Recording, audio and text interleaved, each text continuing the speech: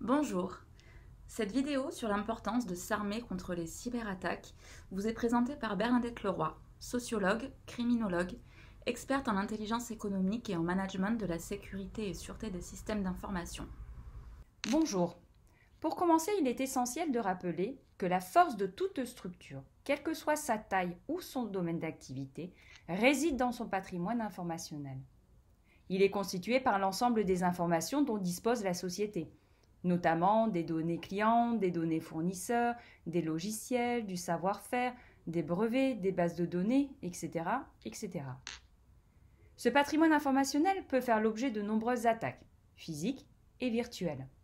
Seule une approche globale de la sécurité, mais aussi de la sûreté, capable de détecter le moindre dysfonctionnement, accidentel ou issu d'actes malveillants, et d'analyser le niveau de la menace, constitue une défense appropriée.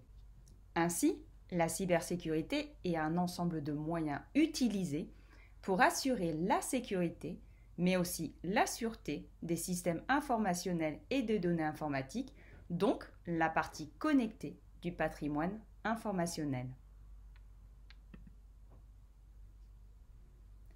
Il existe une différence entre la sécurité informatique, qui a pour vocation de protéger les systèmes informatisés liés ou non à Internet ou à un réseau, et la cybersécurité qui concerne la protection des systèmes informatisés, des dispositifs numériques et des données contre des accès non autorisés connectés à un réseau ou à Internet. Cependant, elles ont un objectif commun, qui est la protection des personnes, des données et des appareils.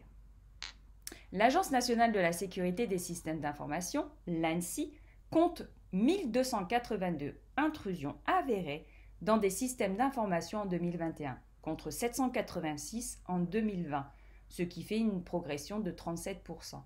Ces nombreuses cyberattaques ont des finalités diverses gains financiers, espionnage, déstabilisation, sabotage, etc. etc. 43% des cyberattaques viseraient des petites entreprises. D'ici fin 2021, le coût de la cybersécurité devrait s'élever à 6 000 milliards de dollars. Deux entreprises sur trois ont déclaré avoir subi au moins une attaque cyber et une entreprise sur cinq ont déclaré avoir subi une récidive sur la même année. Depuis la crise sanitaire, les cybermenaces ont explosé de 400%. Selon le ministre de l'Intérieur, le nombre d'emplois non pourvus en cybersécurité aurait triplé depuis deux ans pour atteindre 3,5 millions de postes non pourvus à ce jour. Bien loin de l'image du pirate informatique agissant seul depuis sa chambre, les pirates d'aujourd'hui agissent en réseau organisé et structuré.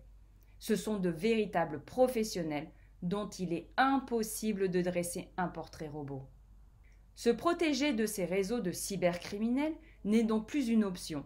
Ainsi, la cybersécurité passe inévitablement par le développement des connaissances et de la détection des menaces potentielles, la sécurisation du parc informatique et des systèmes informationnels, la sensibilisation des collaborateurs à une bonne hygiène comportementale et la mise en œuvre d'une procédure de gestion de crise et l'analyse des contrats d'assurance.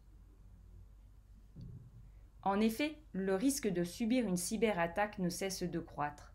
Les menaces sont de plus en plus variées, peuvent revêtir plusieurs formes et provenir de sources différentes. Pour autant, rien ne sert de bunkeriser son entreprise. Il convient d'agir de manière pratico-pratique et organisée, et surtout d'avoir des connaissances nécessaires pour détecter au mieux les menaces cyber. Ces connaissances en cybersécurité sont devenues aujourd'hui indispensables pour prévenir détecter et répondre à tout type d'attaque. Plutôt que de réagir dans l'urgence suite à une attaque, la meilleure des défenses consiste à se protéger en amont et surtout à prendre toutes les mesures préventives nécessaires. Il est important de négliger aucune vulnérabilité.